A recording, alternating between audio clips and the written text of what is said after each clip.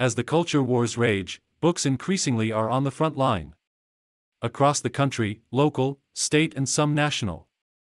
Officials are moving to ban certain titles on the grounds that books tackling racism, sexuality, and gender identity pose a threat to younger readers. And some librarians and teachers who push back against such bans have faced harassment and dismissal. Many of these allegedly controversial books are familiar school staples written by long dead authors such as The Catcher in the Rye by J.D. Salinger and Beloved by Toni Morrison. But this week, best selling author James Patterson was pulled into the fray when school district officials in Martin County, Florida, removed his young adult series Maximum Ride from its elementary school library but kept it accessible for older students. The book follows the adventures of friends who are winged human avian hybrids. Patterson tweeted about the incident Monday, urging fans who found mindless book banning troubling or confusing to write to Florida Governor Ron DeSantis, who has been aggressively waging the culture war. We caught up with Patterson Wednesday, who expanded on his concerns. The Angel Experiment, a Maximum Ride novel at Bookshop. For $10.22 question, Martin County did not ban Maximum Ride but instead has removed access for elementary school students. What do you make of the distinction?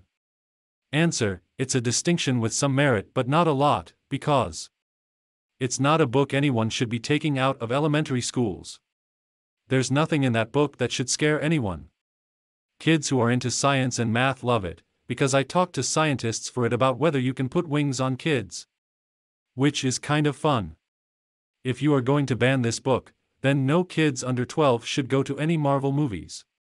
Have Martin County school officials reached out to you? No, they haven't. The troubling thing is the school district is making decisions about books. Individuals that haven't read the book. If based on one person's objection you take books off shelves, then we're going in the wrong direction. The only time I was banned was for the Jericho Commandment, a 1979 novel about terrorists at the 1980 Moscow Olympics. And that was banned in Russia. So that's ironic. You've mentioned this is personal for you. How so? A lot of people talk the talk. But I do stuff. I've spent 40 years funding teacher libraries. My mother was a teacher in Catholic schools. She paid for her own classroom library. But I've been funding independent libraries, hundreds of teacher scholarships, and I have an imprint for children. But I also happen to own a house in Martin County. I bought it for one of my sisters there. And my niece has kids going to school in Martin County. So, yes, that makes it a little personal. You live nearby in Palm Beach County. Would you consider speaking directly to Martin County School Board officials? I almost went up there, and if the book had been totally banned, I would have. But if I did speak to them, I'd say, look, absolutely it's important for you to keep your kids safe. And you should do a better job at that. If a book comes into your home with your child, ask them, what's it about? Are you enjoying it?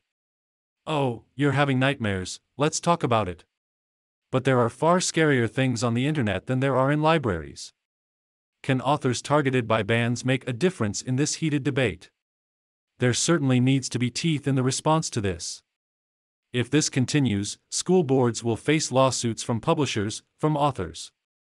And well go right after the people on the school boards. Because you just can't go out there and make irresponsible decisions. These folks need to read the books, find out about the books, and in the rare case that there is something so incredibly objectionable, I suppose maybe then you react. What's your worst case scenario for a nation that continues to ban books? You'll have a country of people with no sense of history or ideas. None, zero. One of the wonderful things about books is it allows us to find out about different ways of thinking, of living, different problems people have, different ways of finding joy you can explain a world through a library and that's a good thing. To cut that down is not useful. The Angel Experiment, a maximum ride novel at Bookshop for $10.22 purchases you make through our links may earn us and our publishing partners a commission.